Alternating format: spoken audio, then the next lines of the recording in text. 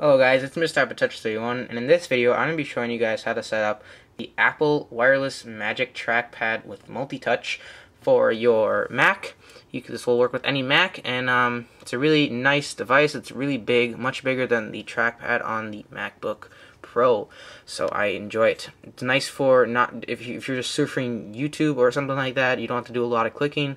This is great for it. If you have to do a lot of clicking, I recommend either using the MacBook Pro trackpad, it's not as good, or the Magic Mouse is great when you have to do a lot of clicking.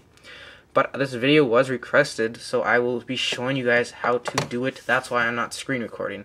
What you're going to want to do is find System Preferences. Mine's right here in my dock. You're just going to open that up. Let me just turn this off real quick. Hopefully, yes, okay, so trackpad off.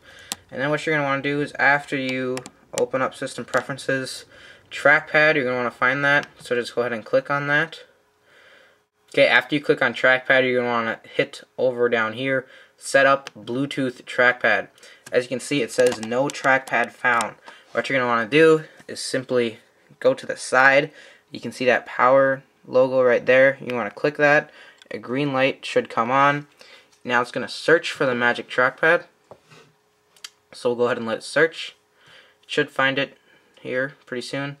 So it just found it and now it's connected. It's that easy. Um, you might have to click continue one more time. For some reason it didn't make me. I'm not sure. When you first connect you'll have a whole bunch of options. Just move your mouse over one of them. There'll be a video in the right corner as you guys can see and you'll be able to see how to do it. So you can you know tap to click. Dragging is really easy. Dragging's kind of cool. I don't have that on though because I don't use it very much. You got in secondary click. You just got all these features, and it's great that they have a video just in case you don't know how to use the Magic Trackpad. Um, you can also adjust your tracking speed up here, and you can also adjust your double click speed, and you can also adjust your scrolling speed. Move it to the right if you want to go faster, move it to the left if you want it to go slower. That's pretty much it for this video. I hope you guys liked this video. If you did like this video, be sure to thumbs up. If you really like this video, be sure to subscribe for more reviews, giveaways, and tutorials and stuff like this.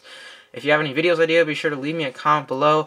Again, this video was requested, so I do do mostly requested videos. If you guys ask, I will pretty much do them no matter what, unless it's something dumb.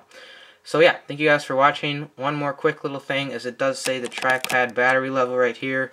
I believe this trackpad takes two AA batteries. I'm not sure. I think it's two, maybe one. not sure.